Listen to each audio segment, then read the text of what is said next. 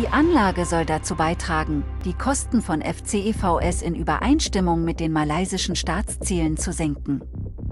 Der malaysische Bundesstaat Sarawak hat seine Absicht angekündigt, ein neues Automobilmontagewerk zu beherbergen, das speziell auf die Produktion von Brennstoffzellen-Elektrofahrzeugen, FCEV, ausgerichtet ist.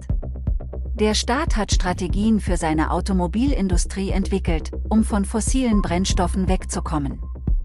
Die Regierung von Sarawak hat zuvor angekündigt, dass sie einen ehrgeizigen Vorstoß unternehmen wird, um sich von der Abhängigkeit der Automobilindustrie von fossilen Brennstoffen zu lösen.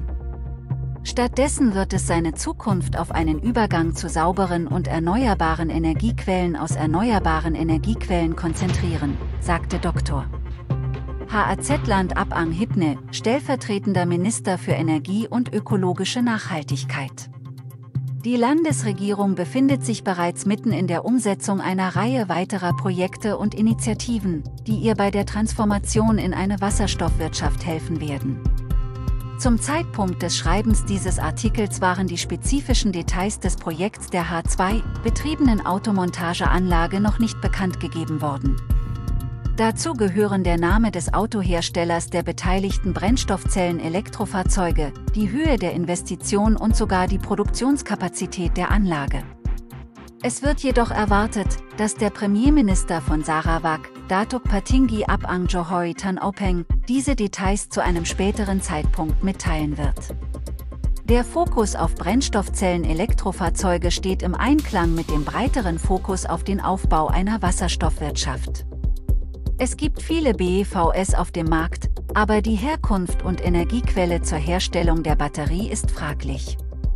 Deshalb konzentriert sich Sarawak auf lokal mit Wasserstoff betriebene FCEV, sagte HAZ-Land Ende Juli, nachdem er die 18. Internationale Konferenz über saubere Energie 2022 eröffnet hatte. Es soll den Preis dieser Fahrzeuge für die Einheimischen senken. Laut HAZ-Land können sich die meisten lokalen Fahrer die Kosten für Elektrofahrzeuge, die von japanischen Autoherstellern verkauft werden, nicht leisten. Daher wird die Landesregierung einen größeren Fokus auf den Import von mehr Brennstoffzellen-Elektrofahrzeugen für Regierungsbeamte und Staatskabinettsmitglieder legen.